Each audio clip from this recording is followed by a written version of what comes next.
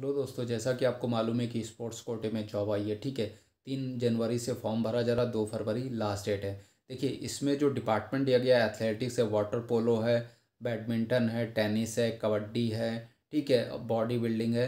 तो अगर आप इनमें से किसी भी स्पोर्ट्स से खेलते हैं तो आप ऐसे फॉर्म को ज़रूर से भर, ज़रूर भरिए, ठीक है? जो मिनिमम क्वालिफिकेशन दिया है, वो ग्रेजुएसन होना चाहिए या ट्वेल्थ पास होना चाहिए, ठीक है?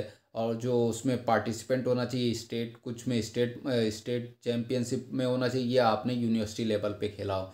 ठीक, अगर आप इन सब चीज़ों में आते हैं मतलब अगर आपके पास ऐसे सर्टिफिकेट हैं तो आप ज़रूर से ज़रूर भरिए। इसको भरने से फ़ायदा क्या है कि अगर आपका हो जाता है तो समझ लीजिए इसमें प्रमोशन तेज आप जैसे जैसे मेडल आप अपने मतलब डिपार्टमेंट में देते जाएँगे, वैसे वैसे आपका प्रमोशन तेज होता जाएगा और फ्यूचर बहुत अच्छा है, ठीक है?